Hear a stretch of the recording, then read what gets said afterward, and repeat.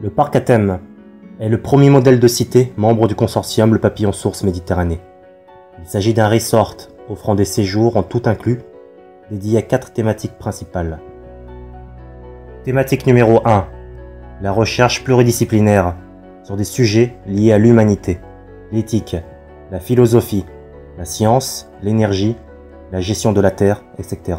Par le regroupement et la mobilisation d'un nombre important de chercheurs, inventeurs et spécialistes, visionnaires actuellement isolés, sans ressources et à grand potentiel, qui sont uniquement guidés par le bien réel de l'humanité. Thématique numéro 2.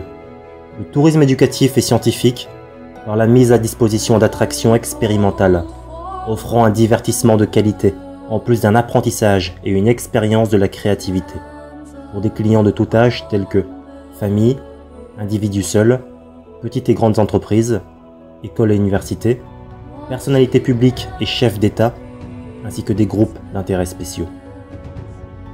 Thématique numéro 3. Le tourisme d'affaires sociétales. Par l'organisation et la mise en place de groupes de travail, conférences, réunions, salons, expositions et sommets où se mêlent subtilité d'esprit et intelligence du cœur. Thématique numéro 4.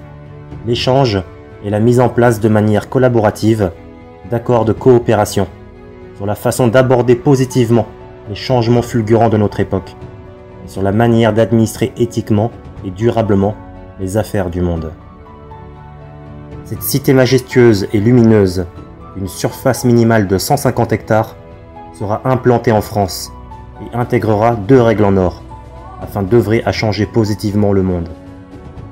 Règle numéro 1. S'abandonner au collaboratif.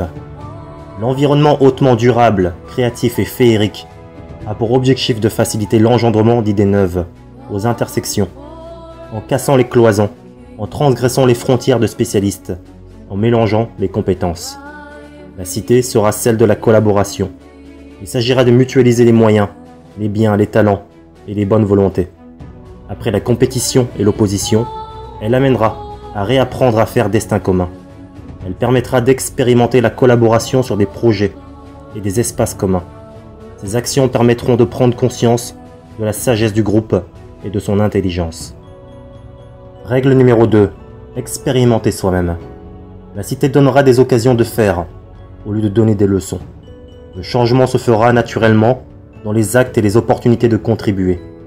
À travers chaque initiative, en expérimentation successive, les gestes et projets libéreront du pessimisme, du matérialisme, de l'individualisme et du conservatisme.